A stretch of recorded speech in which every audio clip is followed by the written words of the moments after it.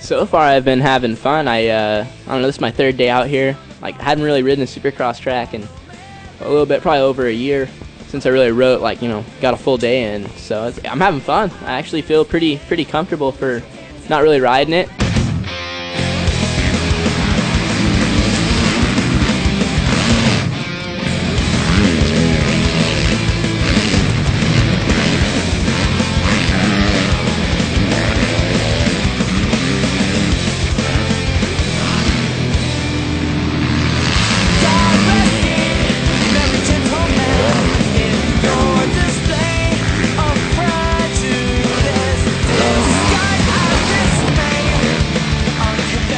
I've never really raced a full-blown supercross track. I mean, I've only ridden them, but like as for comfort, like I feel just as comfortable, if not, you know, better on these things. Like, like I mean, this is my, it's like a whole different bike, but I already feel really comfortable. Like I'm already having fun and getting used to it, and like it's the first, like I said, like first time I've been on one in about a year, and I already felt really comfortable. So I'm pumped. I'm ready. Hopefully, well, I'm not ready yet, but hopefully I'll be ready by the time it rolls around.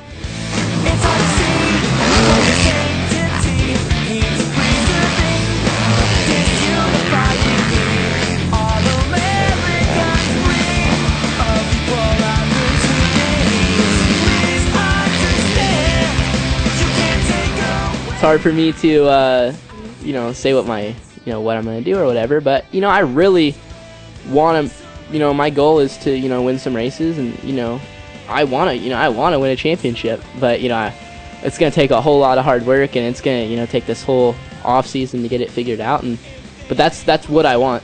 You know that's that's what I'm hoping for.